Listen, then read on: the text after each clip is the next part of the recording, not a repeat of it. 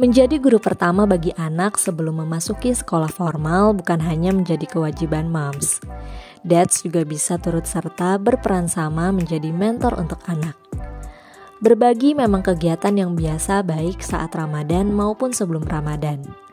Melalui bulan yang suci dan penuh berkah ini, Dads bisa dengan mudah mengajarkan konsep berbagi karena banyak contoh dari sekitar dan juga Dads bisa mencontohkannya sendiri. Lantas, bagaimana ya cara mengajarkan berbagi pada anak? Tonton videonya sampai habis you moms dan jangan lupa like, komen, dan share videonya. Subscribe YouTube Nakita Channel dan juga nyalakan lonceng notifikasi supaya moms tidak ketinggalan informasi terbaru dari Nakita.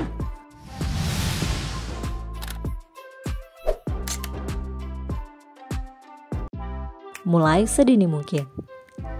Dad sebaiknya mengajarkan konsep berbagi pada anak sedini mungkin. Saat berkumpul bersama saudara pada acara buka bersama, Dad dapat menunjukkan kepada anak cara berbagi saat bermain bersama saudara dengan mengatakan hal-hal seperti "Sekarang giliran kamu ya." Saat giliran mereka memainkan sebuah mainan. Demikian pula halnya ketika tiba giliran saudaranya. Dengan begitu, anak bisa memahami konsep sederhana tentang berbagi di usia muda. Berikan batasan waktu. Gunakan waktu untuk mengajari anak tentang berbagi dads. Misalnya, jika anak sedang bermain dengan mainan tertentu, namun mainan itu juga ingin dimainkan oleh saudaranya, berikan batasan waktu.